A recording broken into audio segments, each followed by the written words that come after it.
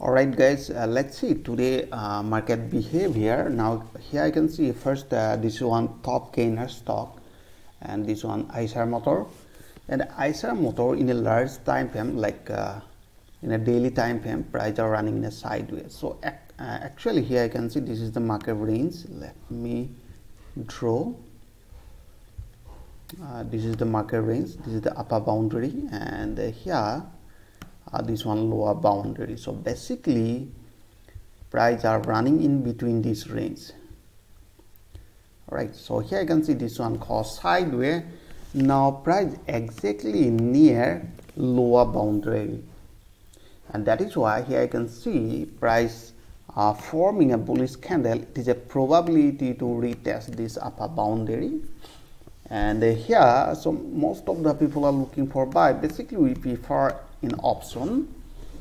And we are placing option strategy and uh, we are focusing on to collect the premium from both sides. So basically iron condor we are deploying. And then next one uh, top gainer stock. Okay let's see uh, in a 15 minute time frame is there any buy opportunity? Yeah perfect buy opportunity are forming exactly after crossing this 60 level RSI and the 100 CCI and price are bouncing off 20 moving average and the perfect buy opportunity.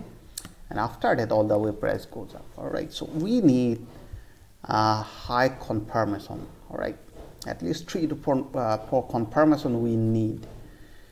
And the next one Sun Pharma let's see it's a daily time okay and now you can see this on h4 um, h4 chart clear uptrend.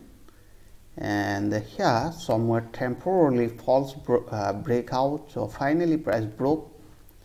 This uh, moving average again pull back act as a support and again uh, price create a new higher high. But if you know see in a small time frame like uh, 15 minute so perfect buy opportunity. Uh, here price are bouncing off bouncing off and form a bullish candle and the RSI crossover CCI crossover and the perfect opportunity and all the way price goes up. And another one this one Bajaj Auto. Let's see H1 first uh, uh, daily and the clear downtrend so they are giving a correction when price are running in a downtrend and there are no divergence. So we are not looking for buy but here I can see uh, Bajaj Auto. Uh, here I can see this is called divergence. So have you seen? Now here I can see Bajaj uh, Auto are forming lower low lower high and again lower low but RSI creating higher high and higher low. So in that case, uh, it is called a divergence pattern. So when they are forming this type of pattern in a small time frame, like 15 minutes, we are looking for buy. So let's see here, 15 minute time frame. Yep.